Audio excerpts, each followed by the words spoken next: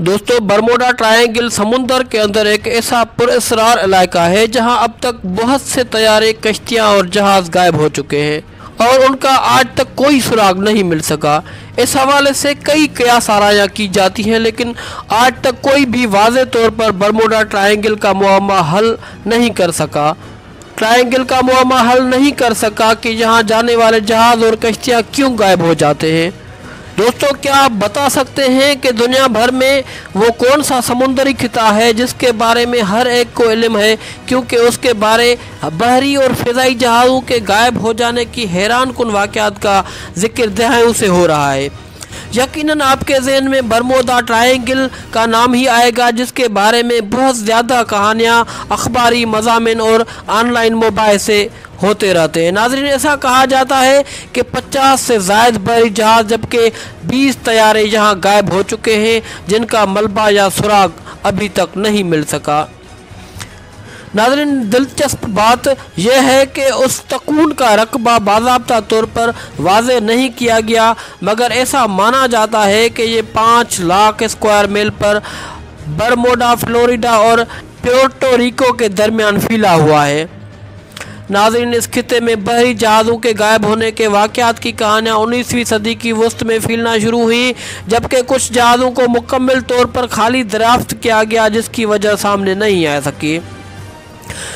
मगर उसको शहरत दिसंबर 1945 में उस वक्त मिली जब अमरीकी बहरिया बहरिया की फ़्लाइट 19 जो के पाँच जो तारपीडो बम्बार तैयारों से मुश्तमिल थी। एटलांटिक में मामूल के मिशन पर नक, मामूल के मिशन पर निकली और गायब हो गई। तैयारों का मलबे या अमले के अमले के चौदह अरकान के बारे में कुछ इलम नहीं हो सका। नाजरीन, लोगों के तजस में मजीद उस वक्त इजाफा हुआ जब ये रिपोर्ट सामने आई कि उस फ़्लाइट मिशन को ढूँढने वाले तैयारों में से एक भी गायब हो गया। दिलचस्प बात यह है कि अमेरिका बहरिया का यूएस साइकिलो भी इस खत्े में 1918 में गुम हो गया था, जिसका सुराग नहीं मिला। मगर इस वक्त लोगों ने ज़्यादा तवज्जो नहीं दी, हालाँकि इसके साथ 300 अफराद भी गायब हो गए थे। नाजरीन, उसके बाद मजामी और किताबें जैसी चार्ल्स ब्रेटलर ने उन्नीस सौ चौहत्तर में शाया किताब द बर्मोडा ट्रायंगल ने इस खत्े को दुनिया भर में शहरत दिला दी। उस किताब में तीस ज़बानों में दो करोड़ कापियाँ फ़रोख्त हुई और इस मम्मे को ज़िंदा रखने में कामयाब रही। इस किताब में बर्मोडा ट्रायंगल के बारे में कुदरती और मावाई मावराई ख्याल को जगह दी गई थी। नाजरीन साइंसदानों ने बरमोडा ट्राइंगल के बारे में तोमता, तोमात को ख़त्म करने की मतद कोशिशें की और बहरी और फ़िज़ाई जहाज़ों के गायब होने पर मुख्तलिफ़ ख्याल पेश किए। मिसाल के तौर पर दो हज़ार सोलह में एक तहकीक में इस राज को दरियाफत करने का दावा करते हुए बताया गया कि इस खत्े के ऊपर फिले शश पहलू बादल मुमकिन तौर पर बहरी जहाज़ों और तैयारों की गुमशदगी का बास बनते हैं। कोलोरोडा यूनिवर्सिटी के माहरीन की तहकीक में बताया गया कि ये शश पहलो बादल पैंसठ मेल फ़ी घंटा की रफ्तार से चलने वाली हवाएँ पैदा करती हैं, जो हवाई बम की तरह काम करती हुई बहरी जगहों को बहरी जहाज़ों को गरक और तैयारों को गिरा देती हैं। नाजरीन साइंसदानों ने नासा के सेटेलाइट के इस्तेमाल करते हुए इस खत्े का डेटा इकट्ठा किया और शश पहलू बादलों को दराफत किया, जो कि बत्तीस और अट्ठासी किलोमीटर रकबे पर फैले हुए हैं। महकिन का कहना था कि इस तरह के बादल इंतहाई गैर मामूली हैं। आप आम तौर पर बादलों के ऐसे कोने नहीं देखते। उन्होंने मजीद बताया, इस तरह के बादल समुंदर के ऊपर हवाई बमों की तरह काम करते हैं, वो हवा के धमाके करते हैं और नीचे आकर समुंदर से टकरा कर ऐसी लहरें पैदा करते हैं जो कि बहुत ज़्यादा बुलंद होती है।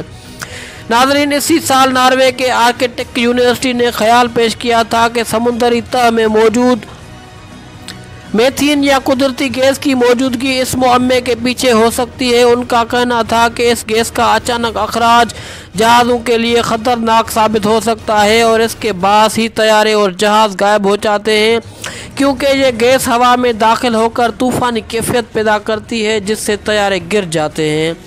नाजरीन, दूसरी जानब 2017 में ऑस्ट्रेलिया से ताल्लुक़ रखने वाले साइंसदान कार्ल क्रोजन लेंसकी ने यह दावा किया था कि इस समुद्र के समुद्री खिते में मुतद बहरी जहाज़ों और तैयारों के बगैर किसी सुराग के गायब होने के पीछे खिलाई मखलूक या एटलांटिस के गुमशुदा शहर के फायर कल्स कर्स टल्स का हाथ नहीं। उनका कहना था कि इतनी बड़ी तादाद में गुमशदगियाँ मावराई नहीं, बल्कि ख़राब मौसम का नतीजा हो सकती हैं। और अगर औसतन के अतबार से देखा जाए तो दुनिया में हर जगह इस तरह हिजरी और हवाई जहाज़ गायब, इतनी तादाद में ही गायब होते हैं। नाजरीन, उन्होंने मजीद कहा कि यह समुद्री तकून पाँच लाख स्क्वायर मेल रुकबे पर फैली हुई है और यहाँ बहुत ज़्यादा समुद्री ट्रैफ़िक होती है। उनके बकौल जब आप वहाँ गायब होने वाले जहाज़ों के तादाद पर गौर करेंगे तो ये नतीजा निकालेंगे कि दीगर समुद्री खितों के मुकाबले में इसमें कुछ भी गैर मामूली नहीं है। नाजरीन महक्कीन ने इस मकसद के लिए तूफ़ानी लहरों को लेबार्ट्री में बनाया, जो कि बहुत ताकतवर और ख़तरनाक थी, जबकि उनकी ऊंचाई सौ फुट तक थी। इस किस्म की लहरों को साइंसदान अक्सर शदीद तूफ़ानी लहरें करार देते हैं। तहकीकी टीम ने एक बहरी जहाज़ यू एस एस साइक्लोब का मॉडल तैयार किया। पाँच सौ बैतालीस फुट के इस जहाज़ का मलबा कभी नहीं मिल सका और न ही अमले और मुसाफरों के बारे में कुछ मालूम हो सका।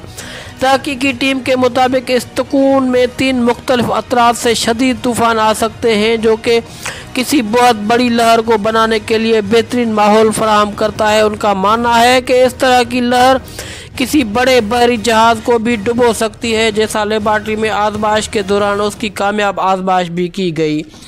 नाजरीन, मगर किसी भी तहकीक में अब तक इस सवाल का जवाब सामने नहीं आ सका कि अगर बादल या लहर जहाज़ों और तैयारों की तबाही का बास बनते हैं तो उनका मलबा कहाँ जाता है? क्योंकि एक गैर मुसदा रिपोर्ट के मुताबिक हर साल इस खत्े में औसतन चार तैयारे और बीस बहरी जहाज़ गुम जा, गुम हो जाते हैं। नाजरीन, इस तरह की इन्फॉर्मेटिव वीडियोज़ हासिल करने के लिए सब्सक्राइब करें हमारा यूट्यूब चैनल और बेल आइकन ज़रूर प्रेस करें।